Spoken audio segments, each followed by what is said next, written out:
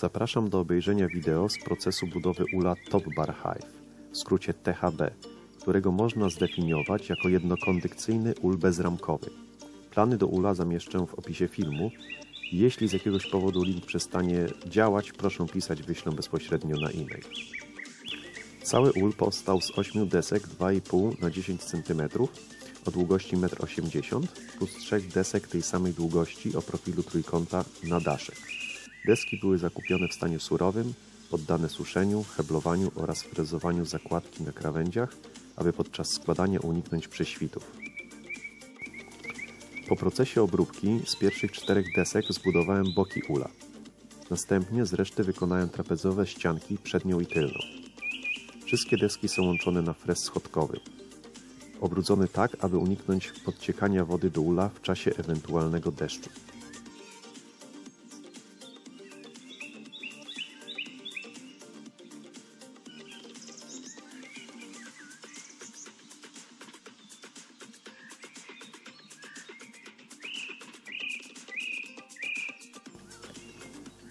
Dłuższe krawędzie ścian bocznych powinny być skośne, aby po połączeniu ze ściankami trapezowymi nie było wystających rantów. Ja częściowo ściąłem je na pile taśmowej, po czym wyrównałem szlifierką starczą ścierną. Wszystkie ściany połączone są na klej stolarski i wkręty do listew trzymających konstrukcję ścian bocznych. Listwy umieszczone są na odpowiedniej długości od końców ścian, aby po połączeniu został 2,5 cm gzyms jako osłona i lądowisko dla pszczół. W dolnej części ścian trapezowych wycięte są wlotki.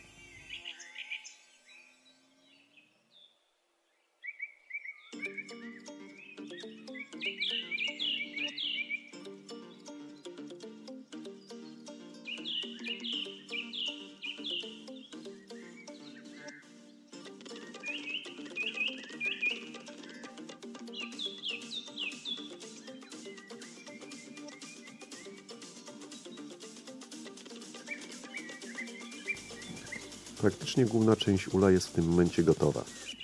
Tak wiem, kojarzy się trochę z trumną, ale nieważne. Wewnątrz na środku ścian bocznych dopasowuję podwójne listwy. Będą one wzmacniać konstrukcję ścian, a pomiędzy nie będzie wmontowana krata odgrodowa. Zamontuję je jednak dopiero po zamocowaniu dołu. Ostatnią częścią ula jest spód. Tak jak z resztą elementów, wykonany jest z tych samych desek, połączonych listwami od spodu na klej i wkręty. W tej części postanawiam wyciąć otwory wentylacyjne, w których zostaną umieszczone siatki. Aby tak jednak było, muszę wyfrezować krawędź, na której będą one osadzone. Otwory wentylacyjne w razie potrzeby będą zasuwane dodatkowymi ruchowymi deskami od spodu, do czego wkrótce dojdę. Na koniec montaż spodu ze ścianami za pomocą kleju i wkrętów.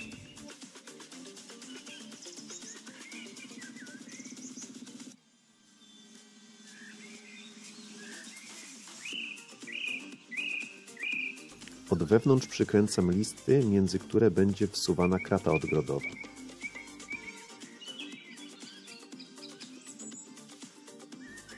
No i główny korpus mamy gotowy. Teraz przystępuję do budowy daszku.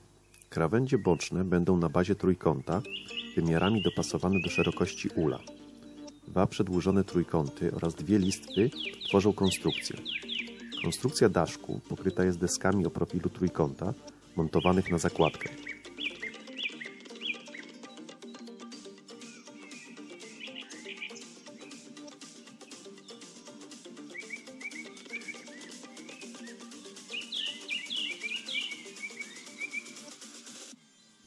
Deski na daszek mogą być różnych wymiarów. U mnie mają szerokość 16 cm. Na daszek wykorzystałem trzy deski o długości 1,80 m. Deska szczytowa jest to deska do wykończenia paneli płotów.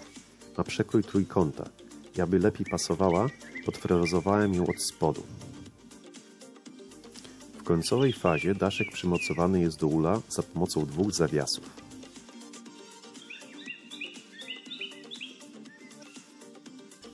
Pod odpowiednim kątem otwarcia utrzymuje go linka przykręcona od wewnątrz.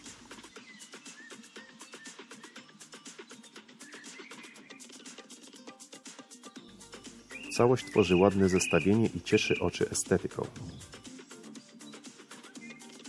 W ścianach bocznych ula wiercę większe otwory jako dodatkowe wlotki.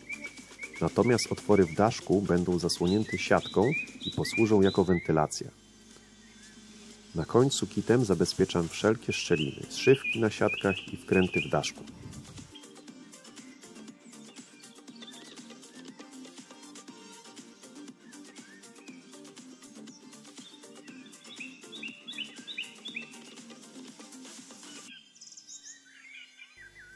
Kolejny etap to budowa stojaka do ula.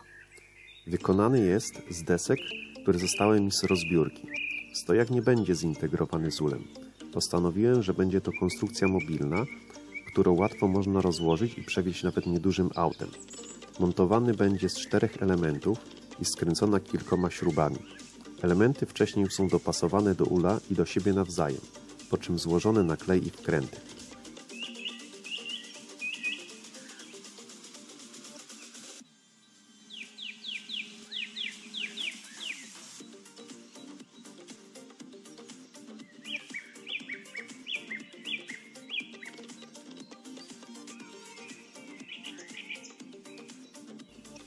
Otworach wentylacyjnych ze spodu ula, jak już wspomniałem wcześniej, zamontuję deski jako zasuwki. Będzie je można zasuwać na zimę lub w razie potrzeby. Ponieważ chciałem, aby deski były wysuwane, muszę wyfrezować przestrzenie na nie. Deska, jak można się domyślić, również będzie miała frez na krawędzi, by, do, by pasowała do tych szyn.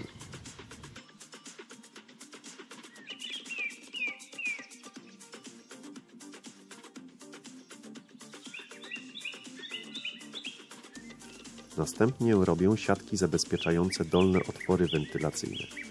Są to dwie ramki z drzewa powleczone siatką aluminiową. Postanowiłem, że będą one demontowane, co ułatwi uprzątanie ewentualnych nieczystości z ula.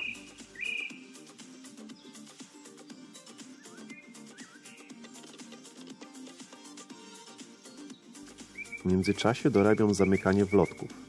Tym celu obok nich zamontowałem kawałki wyfrezowanych wcześniej listew, które utrzymują zamknięcia.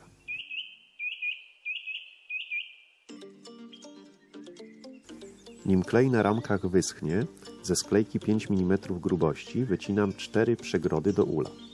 Później w dwóch z nich wywiercę otwory i wstawię siatkę do wentylacji.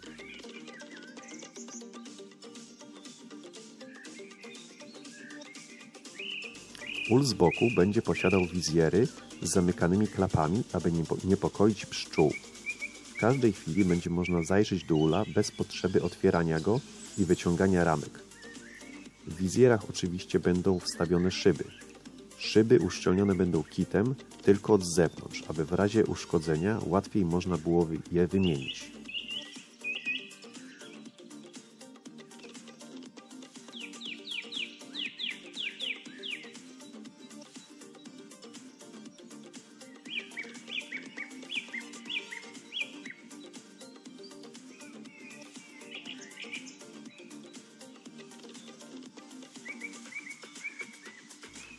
Klapy zamykające wizjery są frezowane na krawędziach, aby szczelnie pasowały do otworów szyb.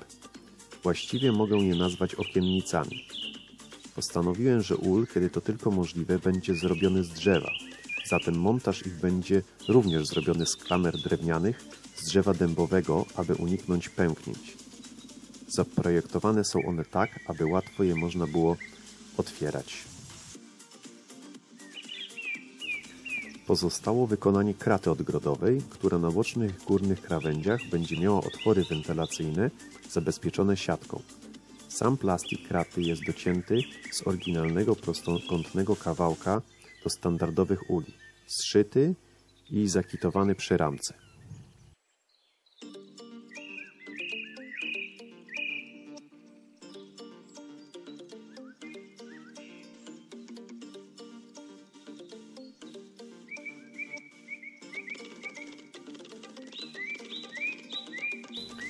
Jeszcze złożenie wszystkiego w całość.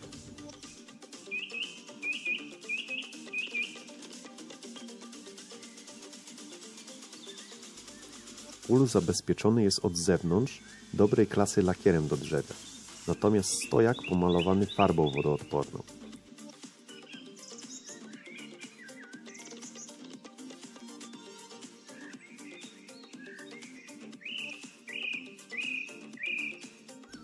Od wewnątrz ul pokryty jest stopionym woskiem pszczelim z zawartością propolisu.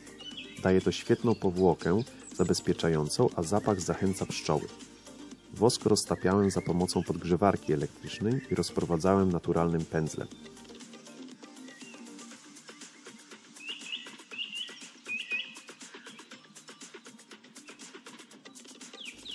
Ul nie posiada typowych ramek, tylko beleczki, na których pszczoły tworzą plastry wosku. Do ula dorobionych jest 20 beleczek, każda z nich frezowana na krawędziach, by ułatwić pszczołom zadanie. Co druga ramka posiada szczelinę, w którą można włożyć węzę, fundament woskowy.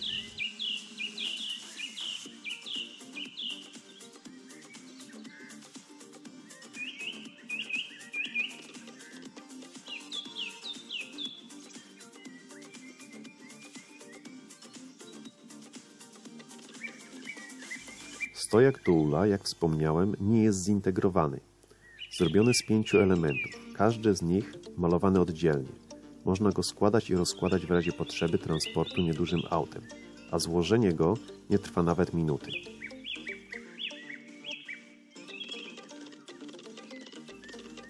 A oto jak wygląda całość.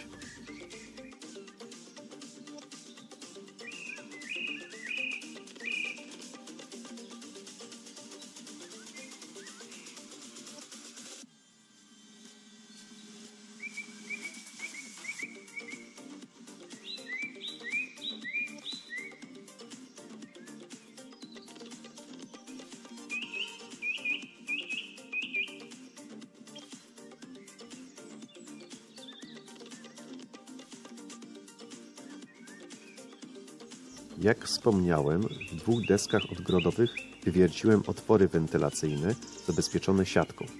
Na zdjęciu można zobaczyć, w jaki sposób działa wentylacja w ulu. Pszczoły w tym układzie nie mają dostępu do przegrody pod daszkiem, więc bez problemu można go otworzyć bez ryzyka, że od razu nas zaatakują. A tu wszystkie części składowe i montaż ich w ulu. Istnieje możliwość przesuwania przegród.